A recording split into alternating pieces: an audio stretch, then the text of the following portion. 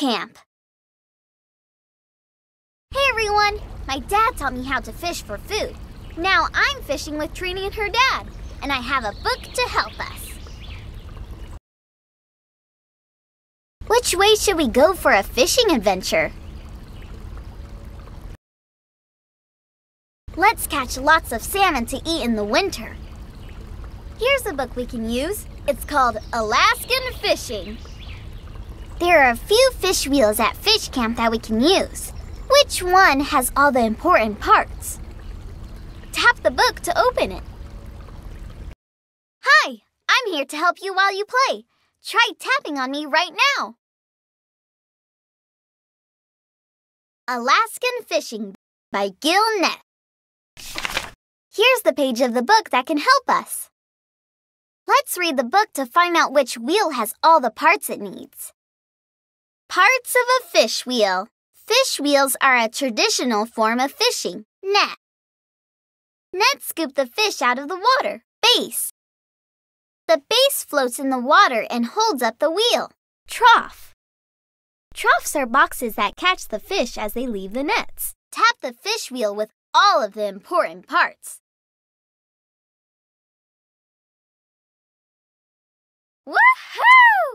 You use the diagram to choose a fish wheel with the important parts.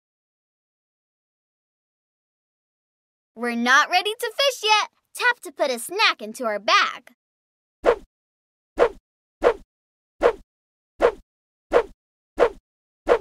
Great job! Let's fish!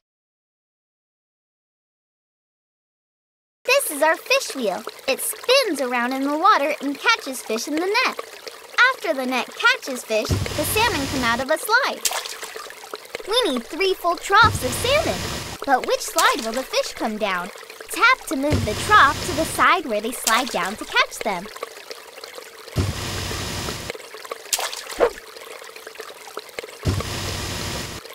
We caught a fish!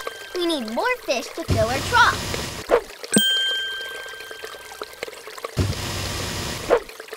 Trough is full. It's time to fill another.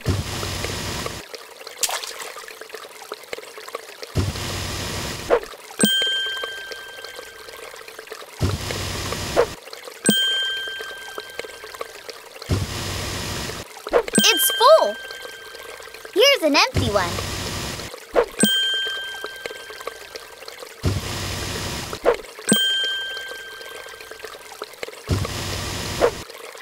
Trap is full. Nice fishing! That's all that we need to catch today. We believe that we don't catch the salmon. The salmon give themselves to us. So we take only what we need. This salmon will be great to eat in the winter. Masi Cho! Thank you to the salmon. That was fun! Let's keep going.